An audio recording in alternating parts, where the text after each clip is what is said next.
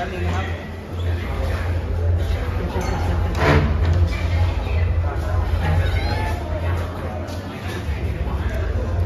ก็ตอนนี้ก็อยู่ในมือหมอนะครับพี่เลี้ยงพี่เลี้ยงเข้าไปยังพี่พี่พี่แสง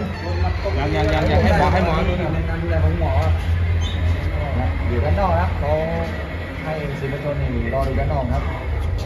เข้ามาครับเข้าไปดีครับไปน้องดู บอกว่าไม่ต่างกับลูกน้องนะส่วนหนึ่ง พี่เดียว พี่เดียวก็ไปพี่เดียวก็ไปสอดก่อนพี่กันนะครับโอเค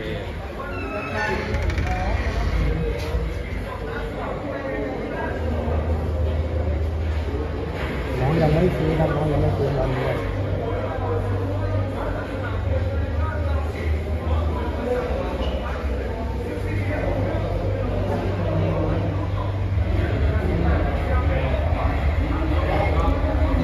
ก่อนที่ก่อนที่จะโดนน็อกก็ก็โดนศอกแตกในยกที่สองก่อนฮะที่พี่เลี้ยงครับที่หางคิ้วด้านขวานะครับ ก็ทำให้ราคานี่เจ้าขุนศึกนี่เป็นต่อแล้วก็ต่อยง่ายขึ้นนะครับ แล้วก็ยกสีก็มาเร่งเครื่องแล้วก็เจ้า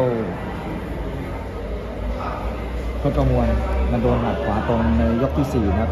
ก็หลับเลย โอเคครับ น้องฟื้นแล้วครับอันนี้อยู่ในการดูแลของหมอครับ เดี๋ยวไปดูคนช้ากันบ้าง